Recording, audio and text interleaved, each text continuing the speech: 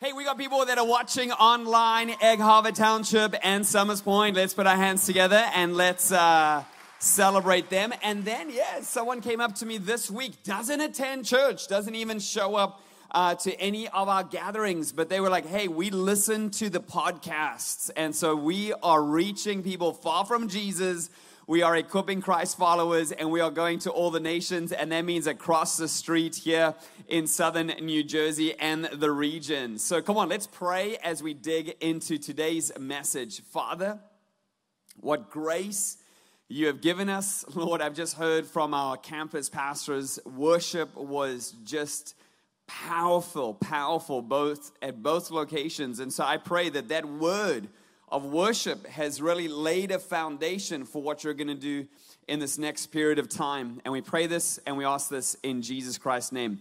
And all God's people said, Amen.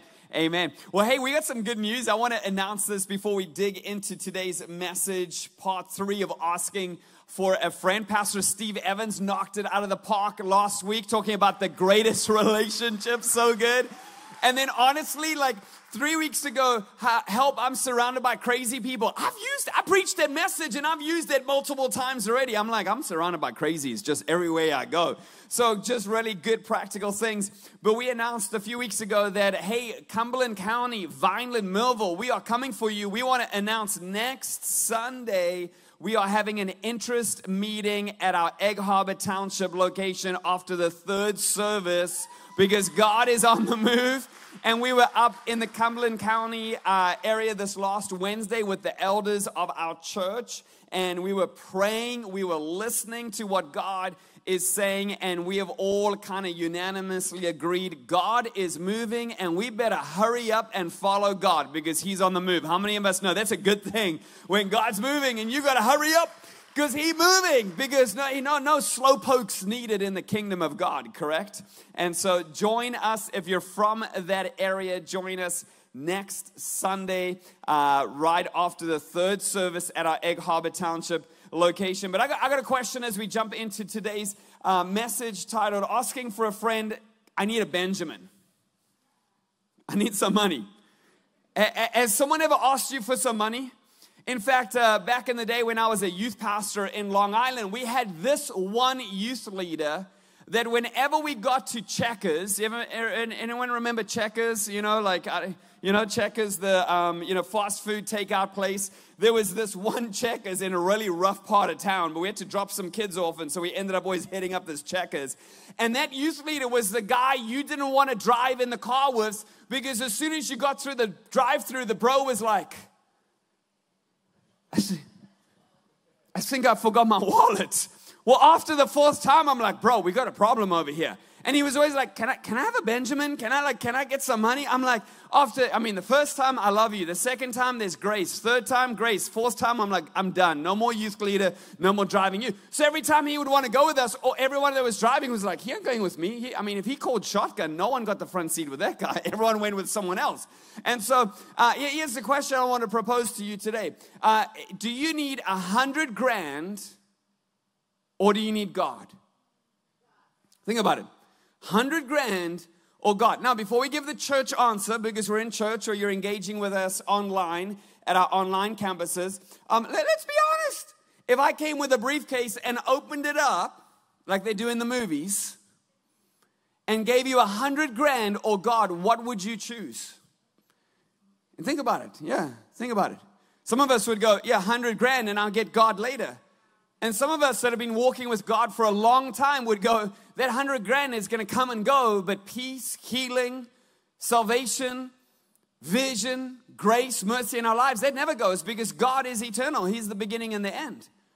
But, but if we had to take God out of the equation and just keep the hundred grand this today, how many of us would go, I need a hundred grand right now? How many of us, any, any honest people there? there? Oh yeah, okay. I got a hundred grand for you. I got the 100 grand candy bar, baby. Right there, that is yours. Enjoy it. Enjoy those 180 calories that come with the 100 grand over there.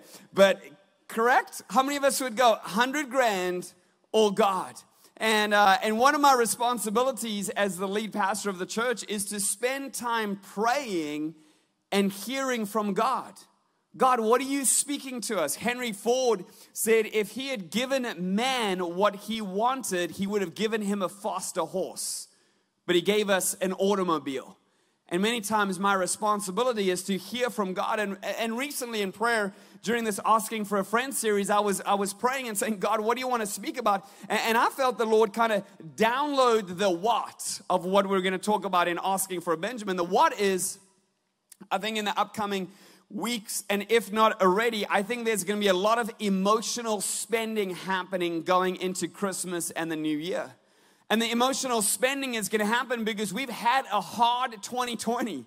I mean, just look, people are putting up Christmas de- decorations before uh, they've done, usually, people have got trees before they've normally done. You're listening to Christmas music. I mean, come on, some of you drinking eggnog already, and I think it's sin to drink eggnog, period. Period. Growing up in South Africa, I never had eggnog. And the first Christmas here, I was like, what is that awful stuff? And, so there's emotional spending. It's the what, why, because we've gone through a rough time. And how do we get through rough things? We normally do things emotionally. And yet, here's the reality anything done in emotion that is not led by the Spirit of God equals pain. Think about that. Maybe some of us got to write that down real quick. Anything done in emotion. Think about a relationship. Think about a purchase. Think about a decision in your family. Anything done in emotion that's not led by the Spirit of God equals pain within our life. And there's, let's be honest, there's been a lot of pain in the last year in multiple different fronts of our lives. And, and we're in this place of like, well, my kids deserve it. Well, I deserve it. I, I deserve this X as we go into this Christmas season. Now, that's the what. Let's talk about the why. The why is this being crushed. The why? Being crushed under financial pressure is not God's best for your life or my life. God's best is not that we live in constant pain. God's best is not that we live under constant pressure. And I know some of you are crazy enough to go, I like pressure. No, that's not God's plan for your life to live under constant pressure, regardless of what it is. And so, transparency coming from my side, I didn't grow up with a good financial model. My, my dad and my mom were horrendous at finances. Uh, there was a lot of pain in my life. How much pain? Uh, there was one season of my life as a, as a teenager, my family moved seven times in five years due to financial pressure. Seven times in five years. My, my family had to move. My mom had to move. My dad had to move. This was Southern Africa. It was countries, different countries Mozambique, Botswana, uh, South Africa that we were moving back and forth from. And when I came to the United States on June 13th of 2000, many of you have heard the story, but I arrived with 25 cents, a quarter in my pocket. 25 cents is how I started 20 years ago. And so, in the last 20 years, I've learned a thing or two about stewardship, about God's biblical understanding uh, of the Word of God in regards to finances. In fact, the Bible talks many times more about finances than it does about anything else. Why? Because money is something that's really important to us as human beings in this culture that, that we live in. And, and my father in law, who had hired me, I ended up marrying his oldest daughter, Pastor Danielle, uh, taught me much of what I would know today about budgeting and about balancing a checkbook and about tithing. Tithing is 10% that we give to God so we can trust Him with the rest. And, and we're going to kind of flesh this out over the next period of time simply because of this. This is because I don't want you to have the same pain that I've had in my life. I pray that you, as you lead your families, would not have the pain that I've endured, or you would begin a season and a journey to healing. And so today, as we talk about steps to stop the pain within our life, can I just say, I think there's one major step as I sit down and talk with people. And this is it build a budget. Let's say that together build a budget.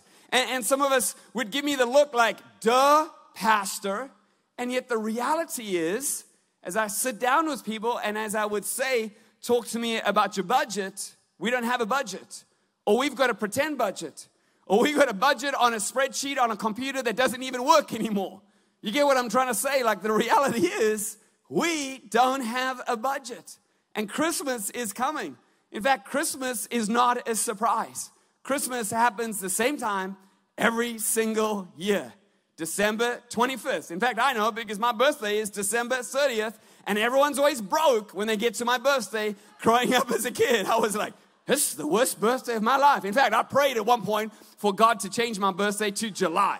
If I could have a birthday in July, somehow my life would be. A, any other December babies? You feel my pain over here? There we go. I mean, if you're at the beginning of December, well, we don't have money to spend on you because we're trying to save up for Christmas. Then you spend all your money on Christmas. Yes, I go to counseling for this kind of stuff.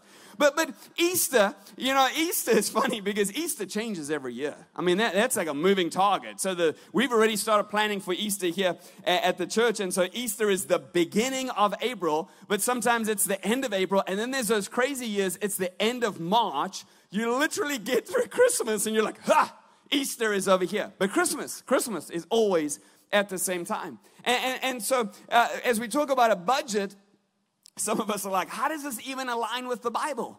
Well, thank you so much for asking that question. It's found in John chapter 3, verse 16. And in John 3, verse 16, it says, For God so loved the world that he gave us his one and only Son.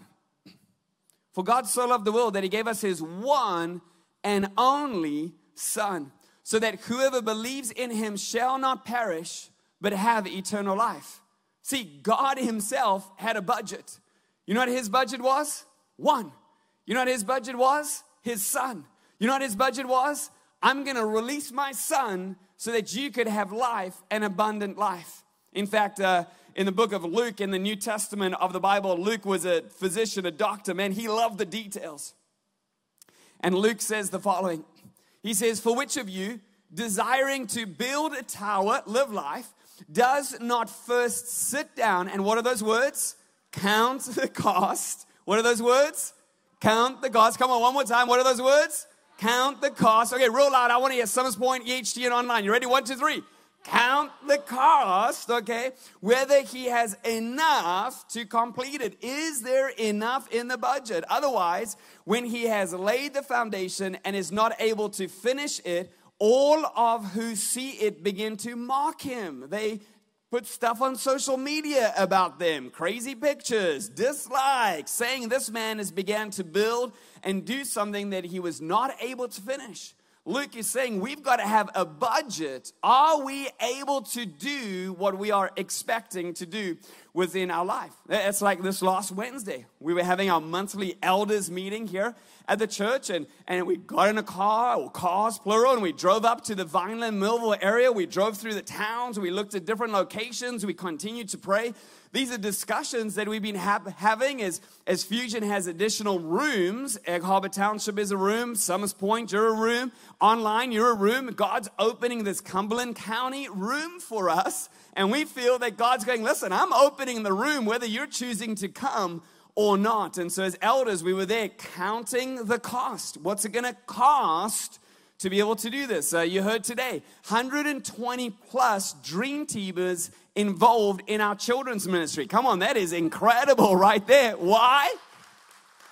That's larger than the average church in the United States of America that is serving our children. 75 to 85 is the average size church. But guess what? There is a cost to making sure that we are raising our children with biblical values. And yet, I'm amazed at the amount of people, Christ followers, Christians, disciples, that do not have a budget and the pain that finances bring. In fact, the four values that we have at Fusion Church is we want to have a healthy faith, we want to have a healthy freedom, we want to have healthy family, whether it's one or more, and we want to have healthy finances. It's the areas and the values that we seek to grow into. In fact, if you got your app available, right there is different links. One's the uh, daveramsey.com, budgeting, how to budget, okay? And, and many times people go, Pastor, that's great talking about a budget, but what does it mean to budget? So glad you asked the question. Step number one, here it is. Write it down. Write down your total income. Duh.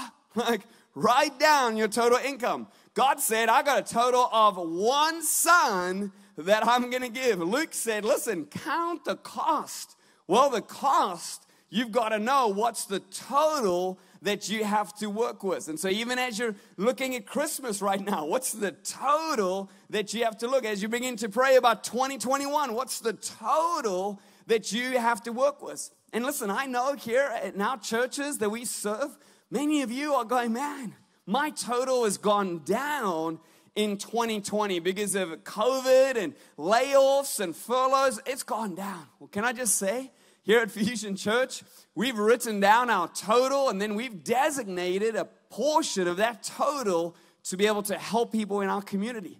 So if you're here today at one of our locations and you would go, man, I need food, I, I need help with a bill, I, I need a need or a necessity, we would love to be able to help you today. In fact, at the end of the service, just come to our prayer team and they're ready to help you today. They'll take your information and we'll get it into one of our teams to be able to help you in this season. Now, there's some of us that, man, God has blessed you in 2020. In fact, many people have come and said, man, I want to sow good seed into Fusion in the end of this year. And I want to say, man, Cumberland County, uh, Vineland Millville, that's good seed. And we're going to give you information in the next few weeks of how to do that. But, but to write down, write down everything that's coming in. Because I've realized in Brendon's life, there is seed. Seed is coming in. My dad, again, was a farmer. But, but when seed comes in, I have two choices. Maybe you want to write this down in your notes. Choice number one is to eat my seed. Okay? Choice number two is to sow the seed. So, what's choice number one? Eat the seed. Yeah. Somers Point. What's choice number two? Sow the seed. Egg Township. What? Sow the seed. Okay. So I can eat the seed or I can sow the seed. Now, you've got to eat so you can live, but you want to sow so you can keep on living. Does that make sense to some of us? So, step number one, write down that total income that God is continuing to bless you with. Number two, this is where the fun begins list your expenses. And when I say list your expenses, I mean everything. Everything. Men, that is the Home Depot visit where you get some beef jerky on the side. You know who I'm talking about. I saw you recently.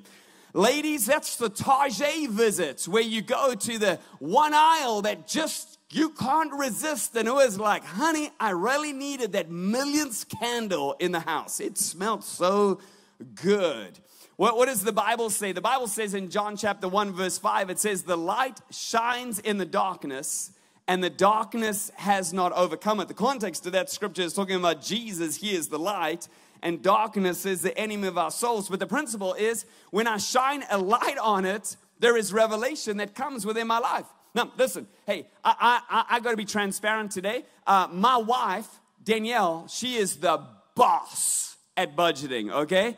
Uh, I'm average, I'm pretty decent, I'm a good steward but but girlfriend that I'm married to, she is the boss. And and we've got spreadsheets and she's got multiple tabs and we're like three years out on some budgeting. And I mean, you know, she's like, well, you need to service your car, so we might as well plan for it. You need tires, so we might as well plan for it. You need emergency this and emergency that. But but at the end of the day, when we talk about listing your expenses, she writes it down in these little books. And in our house, we have these little books all over the place. So when you give us those like free little books, guess what they become in the Wilson house? Budgeting books. And in the budgeting book, oh, why did I open this one? This is my budget right here Starbucks. She's Dunkin' Donuts, and I'm Starbucks. And uh, yeah, we're not to talk about this right here. But somebody said she will go, uh, you went over your budget, and she will write down exactly what's in my store. And uh, it's not, I, I, I, drink black Starbucks or whatever it is. It's not that other fruit fruit stuff. But there's Wawa in here, there's Ollie's in here, there's Walmart in here, um, there's, you know, BJ's is in here. I mean, there's gas in here. Every, we write down everything. And can I just say, here's a tip. When you write down everything, get ready to throw up. Because all of a sudden you see how much Chick fil A was. I mean, have you ever been? You, you, I, I, fed my family of six recently, and I was like, did I buy a Mercedes or something when I got through the Chick fil A drive through?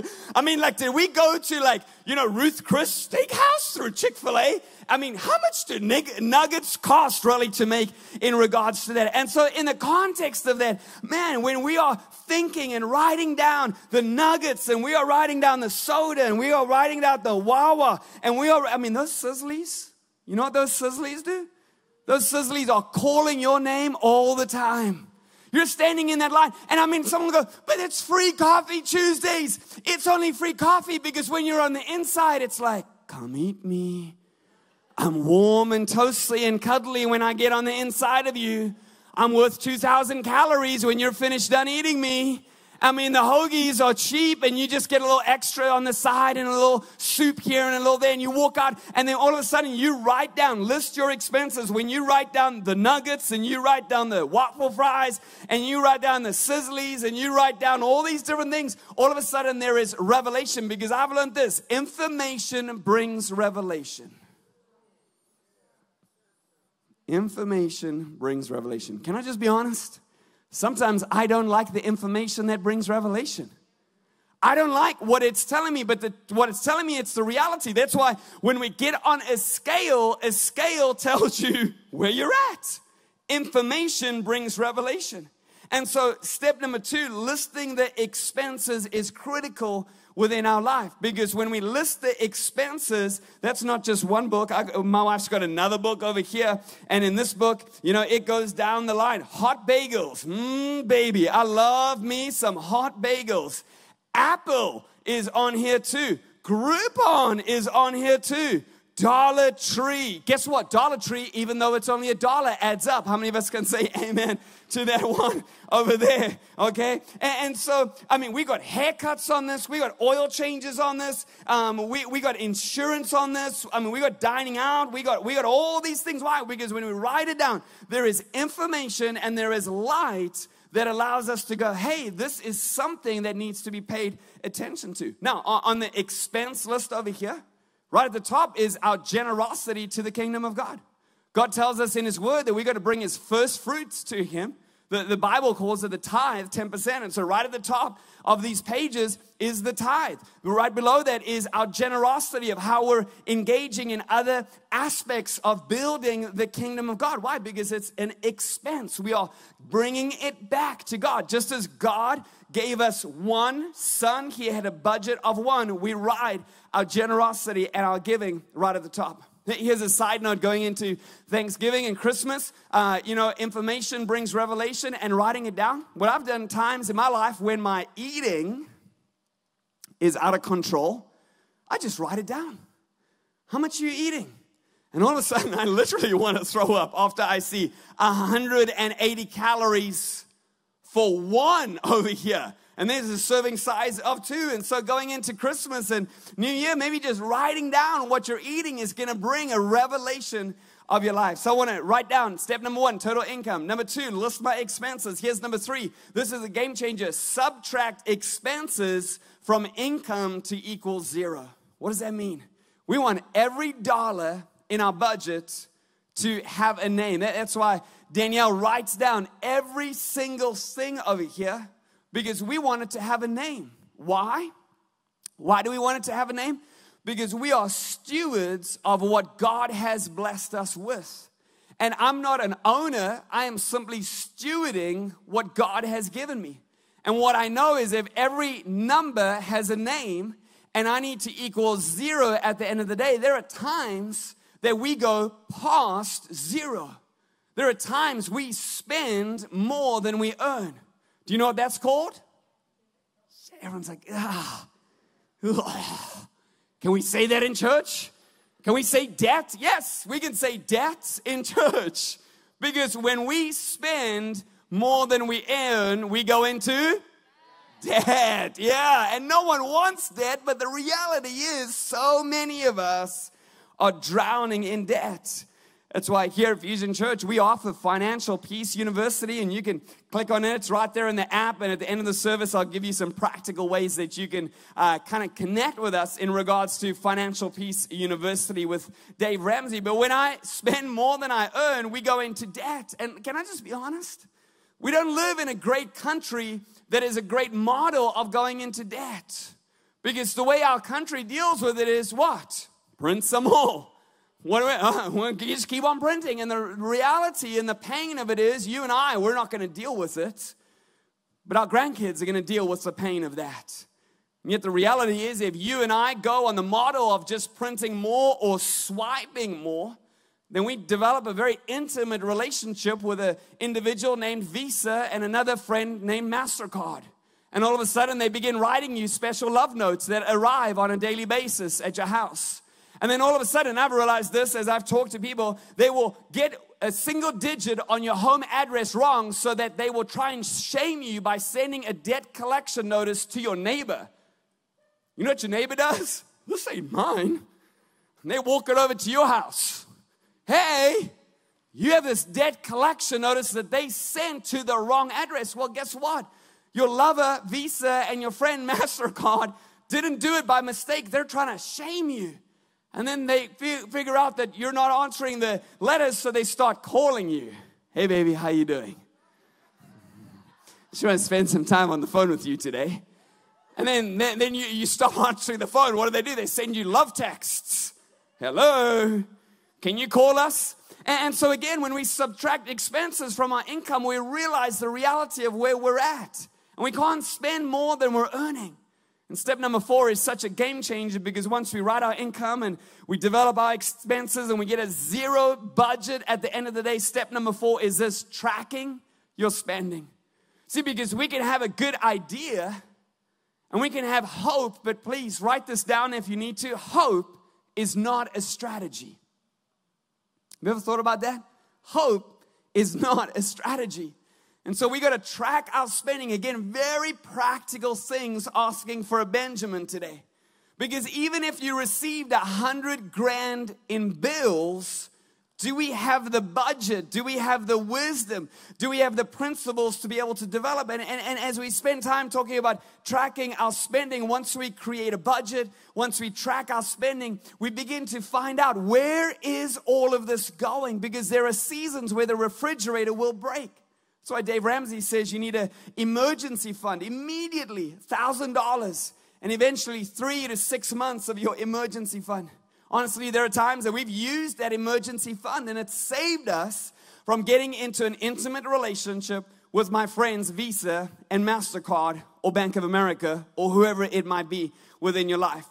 But what I've realized in tracking the spending is that I'm an emotional being. Brendon, when I'm hungry, I'm hungry and I want to eat and I want to take my kids to Red Robin. But Red Robin, again, is a purchase of a house these days. And so we were, we were, my wife and I, many, many years ago, we've been married 16 years, but probably in like year four or five, we, our spending was out of control. And, uh, and we, we were, can I just be honest, we were very immature in our financial habits uh, about 12 uh, or 11 years ago. And we had gone through Dave Ramsey and Financial Peace University. And what it recommends is something called the envelope system to track your spending. And so what you do is you literally get just envelopes and you write down on every envelope uh, gas budget for, for our family, you know, maybe $200. Food budget, maybe $600. Um, and this, and write down, and write down restaurant spending. Write down Chick fil A, okay? Just because Chick fil A is Christian doesn't mean Jesus is gonna keep on giving you money every time you go through it. I mean, not like you get some nuggets and there's dollar bills stuck in the nuggets over there because Jesus is like, oh, it's all right, you're going to Chick fil A versus like Wendy's or something. Some of you are like, that's not true. I'm still waiting for the Chick fil A money. So the envelope system. And all of a sudden, my wife and I, we would get like three quarters of the way through the month and the envelope was empty. And all of a sudden, it begins to develop discipline within your life. And please hear me. This is a big deal for God because it's based on stewardship. And I would recognize that there are some of us here today in our different locations that you're just still trying to figure out this Jesus thing. And again, I want to say we're for you. We want to help you along the way. But there is a larger majority of us that you would go, man, I'm a, I'm a mature Christian. I'm a disciple.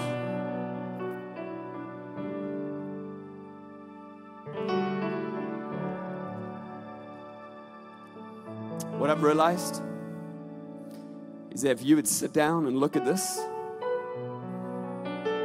you would all of a sudden see where my priorities are at. You would go, hey, that's a big deal for them. Oh, that's a big deal for them. Because it's stewardship, not ownership. See, I, I don't own the church. I'm not even the lead pastor of this church. I don't need that responsibility. I am an under pastor of this church. And I go to God and I say, God, what are you speaking to? with finances? My wife and I pray all the time God, what do you want us to do? Where do you want our spending to be? And, and, and, and I'm being honest, we're not always perfect. There are times we drop the ball, but we're always listening. We're always doing our best to obey Him. And again, as I said, I didn't grow up with good financial models. I'm the kid that came to this country 20 years ago with 25 cents to believe and trust that God was doing something supernatural in this country. Book of Psalms 37, verse 4, I close with this. It says, Take delight in the Lord, and he will give you the desires of your heart. Take delight in the Lord, and he will give you the desires of your heart. I want to illustrate how important this is for us. There are many times over the last 16 years of marriage to my wife, and even before that, that God has asked me to readjust my priorities and my finances. Three years ago, as we were looking at the Diamond Furniture property, which is now Egg Harbor Township location, we entered into a capital stewardship campaign to be able to raise as much money as we could. And there were a lot of wants in my life, a lot of desires, a lot of things. In fact, there was one thing I'd been praying for 25 years about. 25 years been praying for something to get. God had never opened the door for that. And as the diamond furniture began to open up and we began to pray, the number at the top, our tithe, never changed. But then there was our giving to the God is Able Capital Stewardship Fund. Because we truly believe that God was able to do exceedingly abundantly above all that we could ask or think through the wildest dreams we could ever have. God was able to do. So Danielle and I prayed. We heard from God. Step one, we had our total income. Step two, we wrote down all our expenses. Step three, we adjusted a zero budget. Step four, we tracked our expenses. And what we realized is that our Target budget needed to change just a little bit. What we realized is that Brendon needed to bring a little boxed lunch to church on a weekly basis, and our staff can testify to that. He's like, most of the time they'll say, Hey, do you want us to get something? And I got my little lunch. Why? Because I realized the whole real quick that little lunch is a whole lot cheaper than wherever we're gonna go eat. Now, again, I'm not getting out on anyone. I will eat out at some point. But I had priorities. My family had priorities. And please, please, no guilt, correct? No guilt. But my family had priorities. And for us to achieve those priorities of the kingdom of God, we need to adjust our expenses. We chose to delay a vacation for, for, for our marriage. We chose not to go there. We chose to say no to this. We chose to disconnect the Netflix or whatever you chose. We chose to lower our cable because our priority was the kingdom of God. And we were hearing from God. And so, as we put on hold these wants, as we matured as Christ followers, God began to direct us in different areas. Well, last year in the month of November, we opened the Egg Harbor Township location on in September, but in November, uh, our family completed our capital giving commitment to the church. And, and we were out of town and we were literally flying back. We were in Florida. Remember those days when you would travel? That feels like a long time ago, correct? We, we were in Florida, we were flying back, and, uh, and God, literally in the week that our capital stewardship commitment ended, literally began to open supernatural doors of desires that my wife and I had had for multiple years and we had put on hold because we trusted God more. The question that I pose to you at our end of our time together is again, would you trust a hundred grand or would you trust God with the desires of your heart? I want to propose to you that God has come through in my life in more ways than I could ever imagine and in greater ways than I could have imagined. His timing has always been different. His timing has never been perfect in my agenda, but always perfect in His agenda. But what I've learned is I've got to have a budget. What I've learned is I got to write down everything that He is blessing as I'm stewarding what He's doing. I'm going to write down all the expenses. And listen, we're still doing it today. And those revelations often want to make me throw up. But we're able to change and move and massage different areas so that God is able to bless and move within our lives. Now it's November. And as I stand here, November, a year later, I can truly see how God has opened the most supernatural doors that we could have never imagined on my family's life. And I'm so glad that three, four years ago, that our family chose to trust God in a greater and more blessed way because we have seen His sovereign grace. Because again, I didn't grow up blessed, I grew up with a lot of pain. I grew up sleeping on the couches of my mom's boyfriend's houses because she would move into anyone's house that was able to give us some shelter. And today, there is a passion and my desire of my heart to say, God, I want to get as many people out of pain and into blessing if we would just trust you ultimately within our life. As we prepare to close here, you might be going, Well, that's great, Pastor, with all these things, but here's the reality, correct? Here's the reality I have no idea what I'm doing. Well, we want you in 2021 to connect in Financial Peace University. You can text us at 94000 to Fusion FPU it's the greatest way that we can help you with those next steps. Also, here's an application, but what is the Holy Spirit speaking to you today about? You might have gone, hey man, I don't even have a problem with finances, but I got to start counting my calories this week. That's the revelation that the Holy Spirit was speaking to me about. But maybe the Holy Spirit is speaking to you about something different. What is that? Number two, would you have a budget date this week? Would you sit down either with yourself and, and have a date with your budget? Would you, if you're married, would you sit down with your spouse and have a budget date? Would you honestly talk about Christmas spending? I think it's something very practical. But could I challenge you to begin to talk about 2021? What is God wanting to do through your life? Through you, yes, you, in 2021. And again, you might be going, I don't have much, but I've learned I can bring a very little and God can use it in supernatural ways. Because again, I was the kid that came with 25 cents in my pocket. What are the kingdom goals that you're praying for in 2021? And then here it is, number three. But where do you need to shine a light on it? Come on, let's stand to our feet. All of our locations standing together. Where do you need to shine a light on it? And what I've realized as we close in worship now at our different locations, sometimes just three or four minutes in this worship song is going to give me revelation, is going to give me vision of where I need to shine a light on. Let me pray for each of us. Father, right now, I pray for a fresh blessing upon our lives, God. I pray that you would give us vision, wisdom, understanding. God, give us supernatural breakthrough. And we pray this and we ask this right now in Jesus Christ's name. Amen.